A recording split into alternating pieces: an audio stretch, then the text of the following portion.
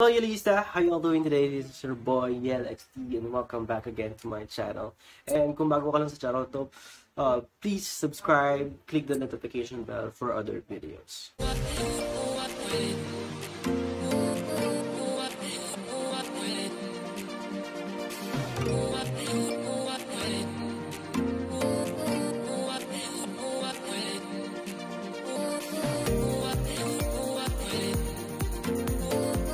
For today's video, marami kasing nagtatanong sa akin uh, kung ano daw mangyayari sa, sa TV Plus nang nawala ng franchise or hindi nakapagpatuloy ang E EBS-CBN ng pag-ere ng kanilang mga channel sa TV Plus.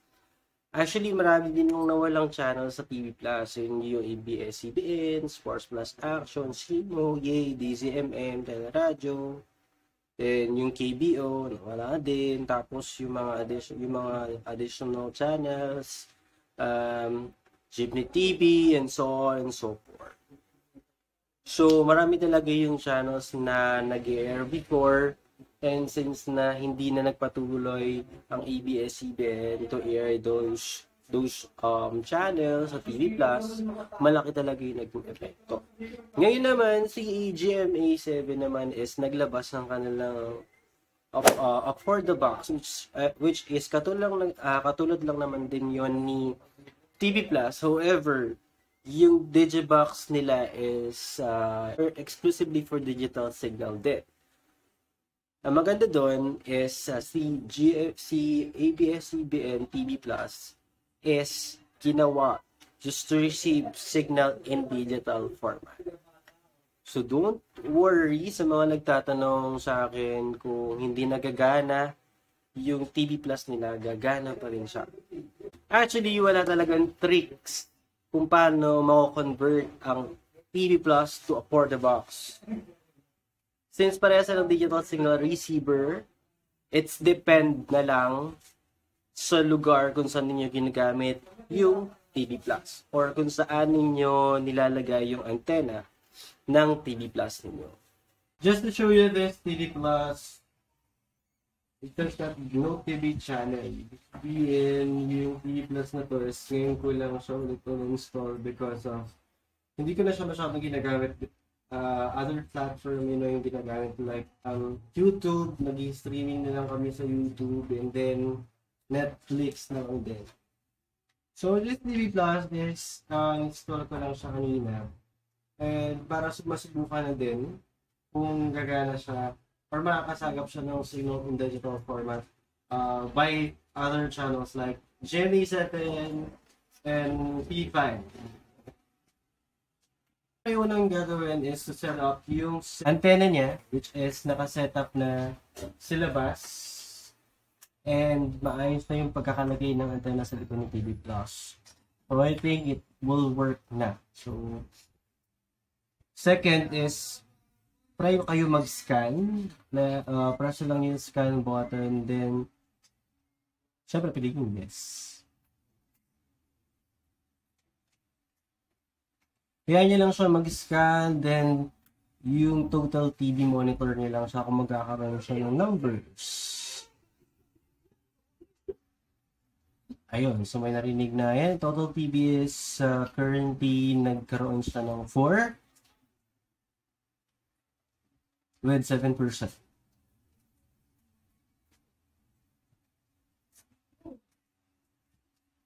And fast forward.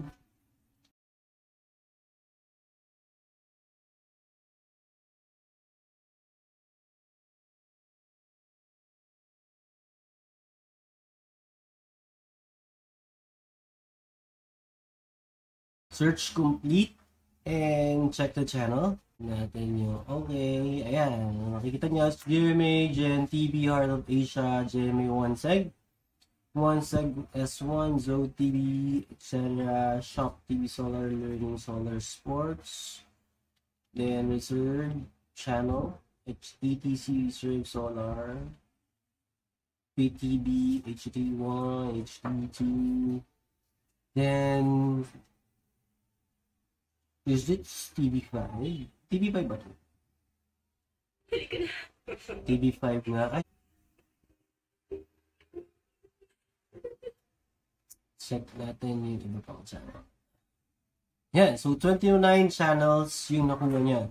Well, disclaimer lang, um, since 29 yung nakuha ko ng channel, hindi ko rin, hindi ko alam kung magiging 29 channels din yung makukuha ninyo kapag nag-scan kayo. Um, di, depende nga kasi sa location. Kung maganda yung location at na lahat ng signal in digital format is nakabukas to sa inyong location, makakasagap kayo na mas marami pang signal in digital format na nasagap po kayo. So for now, ang mahalaga lang kasi dito is GMA 7, GNTBN, Heart of Asia, yun lang yun din kasi aside from EBS, CBN, yun lang din yung napapa-up, pinapanood natin. Ayan. So, working na GMA 7.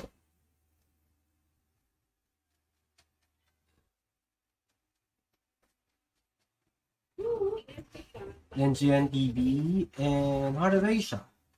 Buti nga tong Heart of Asia is um, free-to-air channel din siya. Hindi siya katulad ng mga exclusive channels ni EBS-CBN na kailangan i-register just to watch uh, via TV Plus. And that's it for today's vlog.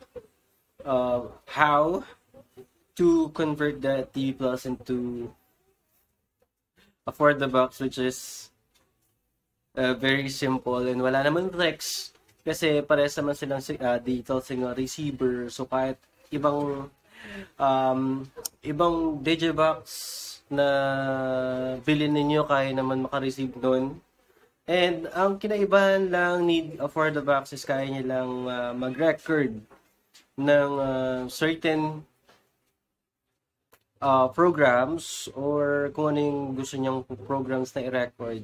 Tapos pwede niyang panoorin the next day kasi yun yung, yung na features ni uh, For the Box. May mga television set naman din na merong ganong features. So, inad lang siguro ni uh, For the Box dun sa mismo Digibox niya just to make uh, different from TV Plus.